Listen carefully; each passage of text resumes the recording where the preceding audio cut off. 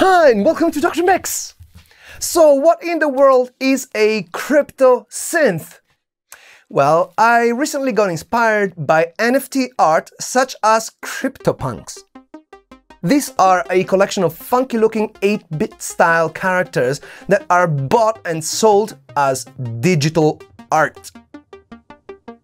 So I like art and I like to draw. Specifically, I like to draw synthesizers. Here's something I've always done. Check it on my school diary from when I was 13. Ready? Bang! the X7 baby! So in the past few months, I really got into drawing synthesizers on Illustrator.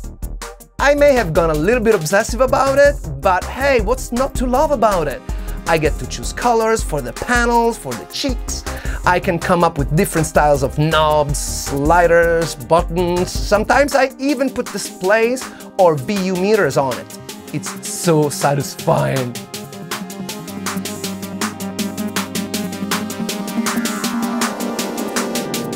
So the result of all this work is my very first collection of NFT art, the Crypto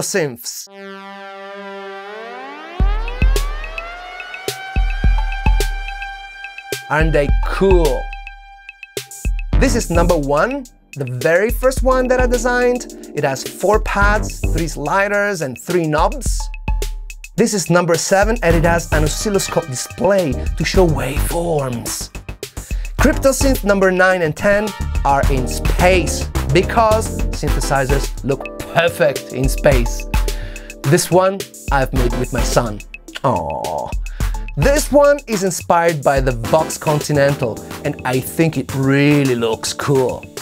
I even made a few to celebrate countries like Italy and America. So I'm selling this collection of unique pieces of synthesizer art as NFTs. So what's an NFT? NFT is the future of all intellectual property. Music, visual arts, books, films, video games, you name it. Yes, this is a big deal. NFT stands for non-fungible token, a fancy word to describe a digital certificate stored on a secure, distributed database called the blockchain. To put it simply, public copies of the certificate are scattered all over thousands of computers across the world, making it impossible for anyone to mess with the certificate. This is the same technology that powers cryptocurrencies such as Bitcoin. NFTs authenticate ownership of intellectual property. This means that when you buy a crypto synth, you're really buying a crypto synth. It's on a public record and no one can change that, unless you decide to sell it later on for a profit. When you do sell it for a profit, the artist keeps getting a percentage in perpetuity and without middleman. How's that for copyright protection? right? And that's why NFTs are so revolutionary. And that's part of the reason why I am experimenting with them.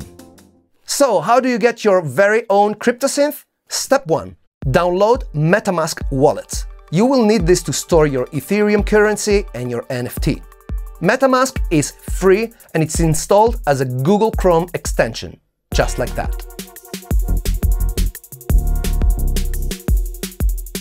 When you first install it, you will be given 12 seed words that you can use to restore your wallet in case you lose it. Write these words down in the correct order on a piece of paper and store it somewhere safe. Step number two, buy some Ethereum and put them in your digital wallet. You can get Ethereum from a vast choice of crypto exchanges, such as one of these. You can also buy Ethereum directly on MetaMask with a card or Apple Pay. Step number 3. Once you've got funds on your MetaMask wallet, go to OpenSea.io forward slash collection forward slash crypto hyphen synths. Choose the crypto synth you like.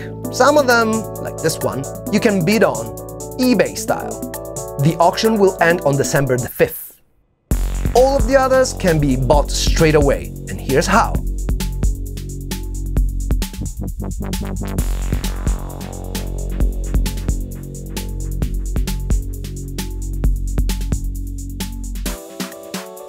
These Ethereum gas fees are quite high at the moment, and that's because of the popularity of Ethereum and NFTs. Yep, you can call this NFT craze.